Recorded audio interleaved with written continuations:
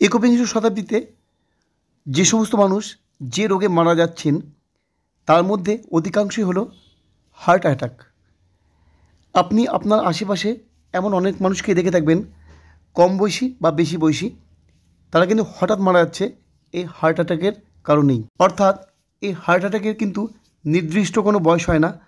হঠাৎ করে যে কোনো বয়সের যে কোনো পুরুষ বা মহিলারাই কিন্তু এই রোগে আক্রান্ত হয়ে মৃত্যুবরণ করতে পারেন। এই হার্ট অ্যাটাকের পূর্বে হার্টের শিরাগুলো কিন্তু আস্তে আস্তে ব্লক হতে শুরু করে। কিন্তু কোনো মানুষ যদি এই হার্ট অ্যাটাকের পূর্বে তার হার্টের শিরাগুলো ব্লক হওয়ার আগেই তা খোলার ব্যবস্থা করতে পারে, তাহলে কিন্তু অধিকাংশ ক্ষেত্রেই মানুষের হার্ট অ্যাটাক হবে না। এই ব্যাপারে আজকে আপনাদের একটি ঘরোয়া সমাধান দিতে চলেছি। রসুন রসুন ব্যবহারে হার্টের ব্লকের পরিমাণ যদি নাইনটি ফাইভ পার্সেন্ট হয়ে থাকে, সেটিও কিন্তু কমে পুনরায় কুড়ি থেকে পঁচিশ পার্সেন্টে নেমে আসে বন্ধু, যখনই হাই ব্লাড প্রেশার ম্যানেজমেন্টের কথা কিংবা কোলেস্টেরল লেভেল কমানোর কথা আমাদের মাথায় আসে, তখন কিন্তু একটি ভেষজ উপাদানের কথা সব থেকে প্রথম আমাদের মাথায় আসে তা হলো গার্লিক বা রসুন। অর্থাৎ এই গার্লিক বা রসুন আমাদের হার্ট হেলথের জন্য কিন্তু ভীষণ উপকারী। শুধু হার্ট হেলথের জন্যই নয়, অন্যান্য অনেক রোগের হাত থেকে কিন্তু আপনাকে বাঁচাতে পারে এই রসুন। কিন্তু কীভাবে এই রসুনকে ব্যবহার করবেন সেই সম্বন্ধে বিস্তারিত আলোচনা আমি যাচ্ছি। তার আগে একটা ছোট্ট রিকোয়েস্ট আছে বন্ধু। যদি আপনারা আমার চ্যানেলে নতুন হয়ে থাকেন, তাহলে কিন্তু অবশ্যই আমার চ্যানেলটিকে সাবস্ক্রাইব করে আমার পাশে থাকবেন। আমি শুভদীপ, আমার ইউটিউব চ্যানেল এক টুকরো ভালোবাসা। অবশ্যই ভিডিওটা বন্ধুদের কাছে শেয়ার করবেন, যাতে এরকম উপকারী ভিডিও আপনার বন্ধুরা দেখতে পারে। আর অবশ্যই ভিডিওতে একটি লাইক দেবেন। তাহলে দেরি না করে শুরু করা যাক রসুনের কি কি উপকারিতা রয়েছে। যদি আপনি নিয়মিত এই গার্লিক বা রসুন সেবন করতে পারেন, সেক্ষেত্রে আপনি স্বাস্থ্য সম্পর্কিত অনেক রোগের হাত থেকে কিন্তু রক্ষা পেয়ে যাবেন। বন্ধু, আজকে এই ভিডিওর মাধ্যমে আমরা জেনে নেব এই রসুনের স্বাস্থ্যকারী ছটি উপকারিতার কথা এবং কি পদ্ধতিতে, অর্থাৎ কোন পদ্ধতিতে এই রসুন ব্যবহার করলে বা রসুন খেলে আপনি সর্বাধিক বেনিফিট পেতে পারেন, সেই সম্বন্ধেই আলোচনা করব। এবং সবশেষে জেনে নেব এই রসুন কত মাত্রায় আপনার খাওয়া উচিত। আমরা অনেকেই জানি যে নিয়মিত রসুন খেলে বা রসুন সেবন করলে আমাদের শরীরের ব্লাড প্রেশারের পরিমাণ নিয়ন্ত্রণে থাকে। কিন্তু আমরা অনেকেই জানি না এই ব্লাড প্রেশার নিয়ন্ত্রণে থাকার কারণটা ঠিক কী? এই নিয়মিত রসুন সেবন করলে আমাদের শরীরে নাইট্রিক অক্সাইডের প্রোডাকশন বেড়ে যায়। আর এই নাইট্রিক অক্সাইডের প্রোডাকশন বেড়ে যাওয়ার কারণে আমাদের শরীরের রক্ত ধমনীগুলো প্রসারিত হতে শুরু করে। আর ধমনীগুলো প্রসারিত হওয়ার ফলে ধমনীর দেওয়ালে রক্তের প্রেশারের পরিমাণ কমে যায়। গবেষণায় দেখা গেছে, যদি প্রত্যেক দিন দু কোয়া করে তিন মাস কোনো ব্যক্তি এই রসুন সেবন করতে পারেন বা খেতে পারেন, তাহলে তার ব্লাড প্রেশারের পরিমাণ কিন্তু একদমই কম থাকে এবং হার্ট অ্যাটাকের ঝুঁকিও একদমই কমে যায়। এই নিয়মিত রসুন সেবন করলে আপনার ওপরের প্রেশার সাড়ে আট পার্সেন্ট অবধি কমে যেতে পারে এবং নিচের প্রেশার সাড়ে পাঁচ পার্সেন্ট অবধি কমে যেতে পারে। তাই আপনি নিয়মিত আপনার প্রেশারকে কম রাখতে হলে বা কম রাখতে চাইলে অবশ্যই নিয়মিত এই রসুনকে খেতে পারেন। রসুন যে শুধুমাত্র হার্টের সমস্যার সমাধান করে তা নয়, নিয়মিত রসুন খেলে কিন্তু আপনার ফুসফুসের যে কোনো ধরনের সংক্রমণ দূর করতে পারে। তাছাড়া যে কোনো ধরনের চর্মরোগ বা ফুসকুড়ি বা যে কোনো ধরনের অ্যালার্জি হাতেও কিন্তু আপনি বেঁচে যেতে পারেন শুধুমাত্র নিয়মিত বা নিয়ম মেনে এই রসুন খেলে। এছাড়াও যে সমস্ত পুরুষ শুধুমাত্র যৌন দুর্বলতায় ভুগছেন তারাও যদি নিয়মিত রসুন সেবন করেন, তাহলে কিন্তু আপনার যৌন সমস্যা আপনি পুনরুদ্ধার করে আপনি সঠিক শক্তি ফিরে পাবেন আপনার শরীরে।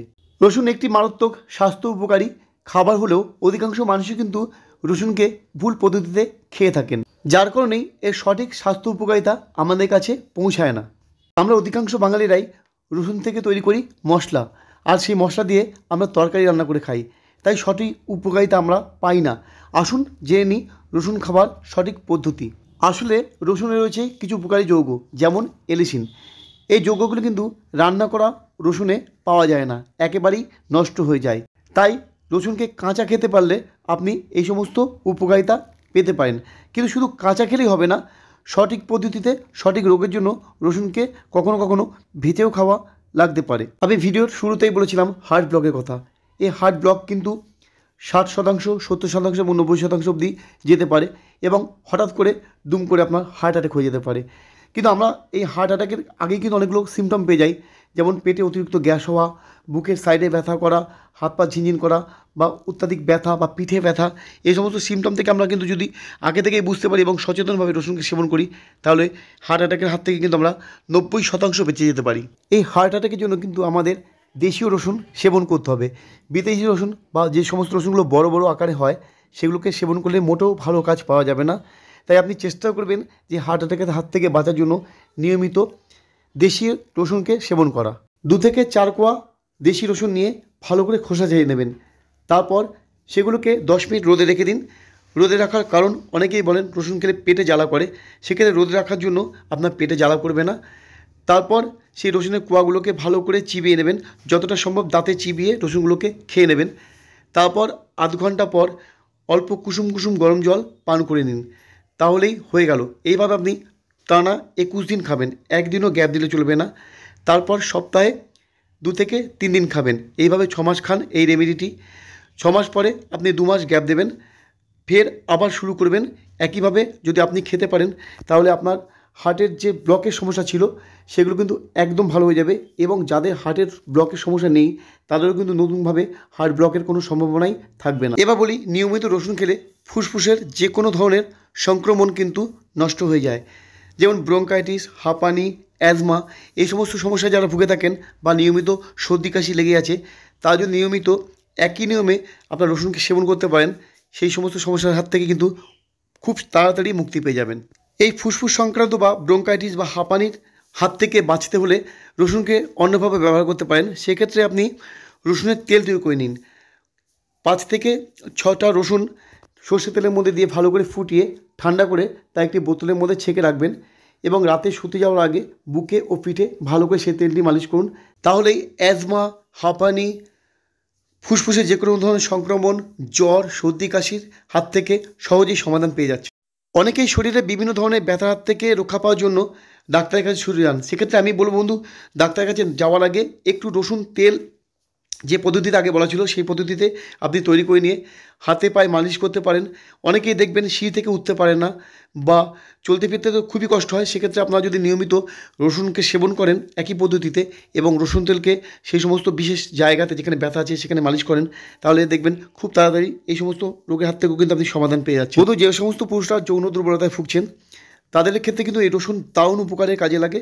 আপনারা যারা যৌন দুর্বলতায় ভুগছেন এবং অনেক দিন ধরে এই রোগটায় আক্রান্ত হয়ে আছেন। তারা নিয়মিত একটু ভিন্ন পদ্ধতিতে রসুনটাকে ব্যবহার করবেন। কীভাবে খাবেন? রসুনটাকে নিয়ে ভালো করে খোসা ছাড়িয়ে কুচি কুচি করে কেটে নেবেন। সেক্ষেত্রে আপনি গোটা দু থেকে তিনখানা রসুন ভালো করে কুচি কুচি করে কেটে মধুর মধ্যে ভিজিয়ে রাখবেন। আপনি এই রেমেডিটি দরকার হলে ফ্রিজেও রেখে দিতে পারেন। মধুর মধ্যে ভিজিয়ে রাখার পর আপনি প্রত্যেকদিন রাতে শুতে যাওয়ার আধ ঘণ্টা আগে বা এক ঘণ্টা আগে সেখান থেকে এক চামচ মধু এবং কয়েক কুচি রসুন ভালো করে চিবিয়ে খেয়ে নিয়ে ঠিক কুড়ি মিনিট পর একটু গরম দুধ খেয়ে নেবেন। এরকম আপনি যদি তিন থেকে চার দিন এই নিয়ম বা এই রেমিডিটি আপনি পান করতে পারেন, তাহলে কিন্তু আপনার সমস্ত ধরনের যৌন দুর্বলতা এবং যৌন অক্ষমতা দূর হয়ে যাবে এবং তিন থেকে পাঁচ দিনের মধ্যে কিন্তু আপনি আপনার তফাতটাকে বুঝতে পারবেন। দুর্বল পুরুষদের জন্য এই রেমিডিটি কিন্তু অত্যন্ত কার্যকর। রসুন শরীরের বিভিন্ন ধরনের চর্মরোগ সারাতে দারুণ উপকারী ভূমিকা পালন করে। বন্ধু, অনেকেরই দাঁত, খাজ, খুজলি এক্সিমা অ্যালার্জি, এরকম বিভিন্ন ধরনের চর্মরোগ হয়ে থাকে। মাথা থেকে পায়ের আঙুলের খাঁজ অবধি কিন্তু এই সমস্যা হয়ে থাকতে পারে। যদি আপনার এরকম ধরনের সমস্যা থেকে থাকে, তাহলে কিন্তু প্রত্যেকদিন ঘুম থেকে উঠে সকালবেলাতে খালি পেটে দু কোয়া কাঁচা রসুন খেয়ে নেবেন। এরপর আপনার ওই আক্রান্ত স্থানে রসুনের তেলকে লাগাতে হবে। সেক্ষেত্রে আপনি রসুনগুলোকে ঘিয়ে ভেজে নেবেন। এই রেমেডি করার জন্য আপনাকে অবশ্যই রসুনের কোয়া নিয়ে নিতে হবে এবং হালকা করে কুচি করে নেবেন। সেই কোয়াগুলোকে দু চামচ ঘিয়ের মধ্যে দিয়ে একটু হালকা করে ভেজে নেবেন। দেখবেন সেক্ষেত্রে জানি কোয়াগুলো একদম লাল না হয়ে যায়। হালকা আছে ভেজে নেওয়ার পর আপনি ঠান্ডা করে একটি পাত্রে রেখে দিন। সেক্ষেত্রে আপনি এটি বহুদিন ব্যবহার করতে পারবেন। যে সমস্ত জায়গায় আপনার দাঁত, খাজ, খুজলি এক্সিমা বা ঘা রয়েছে বা চুলকাই রয়েছে, সেই সমস্ত জায়গাতে একটু কুসুম কুসুম গরম জল দিয়ে ভালো করে ধুয়ে নিন। তারপর এই রসুন তেলটি একটি পরিষ্কার ন্যাকড়ার মাধ্যমে লাগিয়ে দিন এবং অবশ্যই চার থেকে পাঁচ দিন পরে আপনি তফাতে বুঝতে পারবেন। তাহলে বন্ধু, কেমন লাগল আমার এই ভিডিওটা? আজ এখানে রাখলাম। আবার দেখা হচ্ছে আমার পরবর্তী কোনো ভিডিওতে। যদি ভিডিওটা আপনার উপকার লাগে, তাহলে অবশ্যই ভিডিওটাকে প্রচুর শেয়ার করুন। ধন্যবাদ।